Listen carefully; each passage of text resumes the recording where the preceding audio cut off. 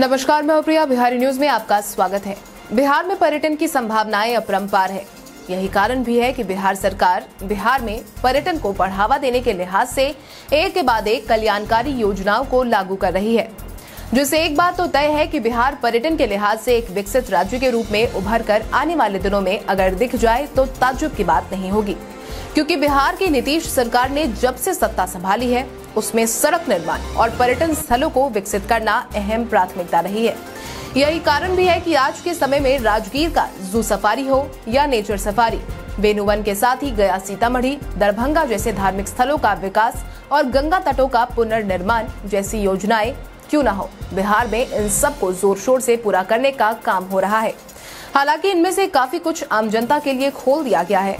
वहीं काफ़ी कुछ जल्द ही आम जनता के लिए उपलब्ध हो जाएगा। जिससे एक बात तो तय है कि आने वाले समय में अगर बिहार वासी ये सोचे कि किसी टूर पर घुमाते हैं तो उन्हें किसी और राज्य की तरफ़ मुड़ने की ज़रूरत नहीं होगी, बल्कि बिहार भ्रमण ही उनकी प्राथमिकताओं में से एक होगा। अब पर्यटन के इसी फ्रेम में चार चाँद लगाने के लिए जल्द ही भागलपुर के सुल्तानगंज से अगुवानी घाट महासेतु पर हैंगिंग डॉल्फिन ऑब्जर्वेटरी का निर्माण कार्य ज़ोर शोर से चल रहा है। जानकारों का कहना है कि ये हैंगिंग डॉल्फिन ऑब्जर्वेटरी अपने आप में ही अनोखा होने वाला है। जहाँ पर लोगों को डॉल्फिन की अटखेलियों का आनंद दिलवाने के लिए बीच पुल पर ही गाड़ियों के पार्किंग की व्यवस्था होने वाली है, जो इसकी मदद से दर्शक सीढ़ियों से नीचे उतरकर आराम से गंगा नदी के करीब जाकर एक बड़े प्लेटफॉर्म पर डॉल्फिन की उछल कूद को करीब से देख सकेंगे।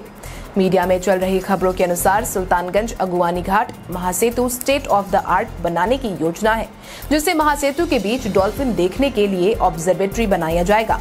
सबसे खास और अनोखी बात ये होगी कि आम लोगों को परेशानी न हो। इसी को ध्यान में रखते हुए महासेतु के बीचों बीच गाड़ियों के पार्किंग की व्यवस्था होगी। चूँकि सुल्तानगंज, भागलपुर, कहलगांव का ये इलाका डॉल्फिन अभ्यारण्य क्षेत्र के रूप में घोषित है, इसीलिए इस जगह को पर्यटन के लिहाज से विकसित करने की योजना भी बनाई जा रही है। जैसा कि आपको पता ही है कि गंगा नदी पर इस साल एक और पुल बनकर तैयार हो जाएगा। सुल्तानगंज अगुवानी घाट पुल इसी साल से चालू होने की उम्मीद है। इससे एक बड़ी आबादी को यकीनन बहुत लाभ होगा। सबसे खास बात यह होगी कि उत्तर बिहार में ये पुल बरौनी, खगड़िया, दालकोला यानी कि एन एच इकतीस और दक्षिण बिहार में ये पुल मोकामा, लखीसराय, भागलपुर, मिर्ज़ा चौक यानी एन एच अस्सी को जोड़ेगा। इस पुल के बन जाने से पर्यटन के द्वार तो खुलेंगे ही। साथ ही साथ भागलपुर, विक्रमशिला सेतु के साथ मुंगेर सेतु पर गाड़ियों का दबाव कम होगा। इससे उत्तर बिहार के खगड़िया, सहरसा, मधेपुरा ज़िले से दक्षिण बिहार के भागलपुर, मुंगेर, जमुई और बांका की दूरी 70 से 100 किलोमीटर कम हो जाएगी। गंगा नदी पर बन रहे इस पुल की लंबाई 23 किलोमीटर होगी। पुल का सुल्तानगंज 4 किलोमीटर तो खगड़िया ज़िले से अगुवानी घाट पुल 16 किलोमीटर है। पुल के फाउंडेशन और सब स्ट्रक्चर का 100 प्रतिशत निर्माण हो गया है। सुपर स्ट्रक्चर 70 प्रतिशत बन गया है। इसके निर्माण में अब तक 1100 करोड़ रुपए खर्च भी हो गए हैं। उम्मीद है कि आने वाले समय में बिहार में पर्यटकों को एक के बाद एक ऑप्शन ज़रूर मिलेंगे, क्योंकि बिहार सरकार की यही कोशिश है कि क्षेत्र कोई भी हो, वहाँ पर पर्यटन ज़रूर हो। इसके साथ ही आज के इस वीडियो में बस इतना ही। तब तक के लिए धन्यवाद।